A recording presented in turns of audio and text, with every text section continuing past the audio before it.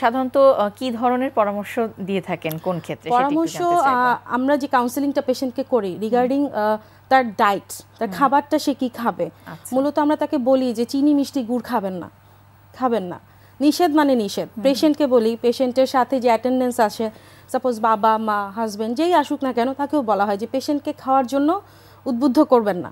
এগুলো তার জন্য খাওয়া নিষেধ। কিন্তু এই সময় কিন্তু দেখা যায় ওরা এই জিনিসগুলো খেতে ইচ্ছা করে পারেন না কারণ হ্যাঁ, নিষিদ্ধ জিনিসে আগ্রহ বেশি থাকে। আগ্রহ বেশি থাকে হ্যাঁ। আর তারপরে যদি ডায়েটে কন্ট্রোল না হয় যদি সুগার আনকন্ট্রোল থাকে বেবির আচ্ছা। কথা চিন্তা করে তখন আমাদের পেশেন্টদেরকে ইনসুলিন অ্যাডভাইস করতে হয়। এবং ইনসুলিনই একমাত্র ড্রাগ যেটা ব্লাড সুগারটাকে প্রপার ওয়েতে কন্ট্রোল করে যেটা ওরাল হাইপোগ্লাইসেমিক ড্রাগ দিয়ে সম্ভব না। ইনসুলিনটা কি আপনারা শুরু করেন কিসের উপর ডিপেন্ড আমরা ব্লাড সুগার প্রোফাইল করি পেশেন্টের আচ্ছা। ছয় বেলা প্রোফাইল করা হয় খালি পেটে কত থাকে এবং খাবার মানে সকালে নাস্তা দুপুরে খাবার এবং রাতের খাবারে দু ঘণ্টা পর ব্লাড সুগার রেঞ্জটা দেখে সেই অনুযায়ী ইনসুলিনটাকে অ্যাডজাস্ট করা হয়। আচ্ছা। আর সাধারণত আমরা লং শর্ট অ্যাক্টিং ইনসুলিনটাই প্রেফার করি।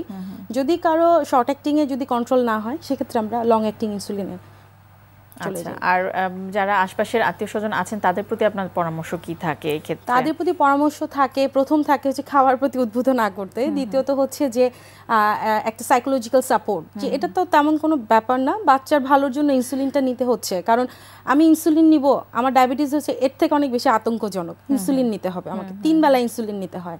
তো এই জিনিসটা আসলে আমরা ফ্যামিলি যে মেম্বাররা থাকে, তাদেরকে আমরা কাউন্সিলিং করি মেইনলি যে আপনারা এটাকে এটাকে নেগেটিভলি নেবেন না।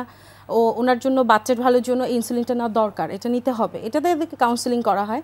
প্লাস হচ্ছে তার লাইফস্টাইল ব্যাপারটা, যেমন দু ঘণ্টা দুপুরে এবং ছয় থেকে আট ঘণ্টা রাতে ঘুমটা পেশেন্টের জন্য খুব জরুরি।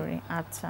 তো এই সময়ে এই যে ডায়াবেটিসের সে নিজে জানলো যে তার ডায়াবেটিস আছে একটি মা গর্ভবতী মা তখন কিন্তু তার মানসিক অবস্থাটা কিছুটা হলেও বেশ ভেঙে পড়ে সে। কন্ডিশনে হ্যাঁ, চলে যায়। এবং সে চিন্তা করে যে তার আসলে কি কি ধরনের ঝুঁকি হতে পারে। আসলে কি এই সময় ঝুঁকি তো থাকে অবশ্যই অবশ্যই ঝুঁকি থাকে। যেমন ব্লাড সুগারটা যদি কন্ট্রোলে না থাকে মায়ের থেকেও বেশি ঝুঁকিতে পড়ে যায় বাচ্চা।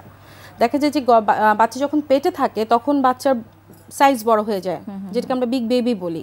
বাচ্চার সাইজ বড় হয়ে যায় প্লাস বাচ্চা যদি মা আগে থেকে ডায়াবেটিক থেকে থাকে কিন্তু জানে না সেক্ষেত্রে বাচ্চার কনজেনিটাল অ্যাবনর্মালিটিস যেটাকে আমরা জন্মগত ত্রুটি বলি সেটা হতে পারে।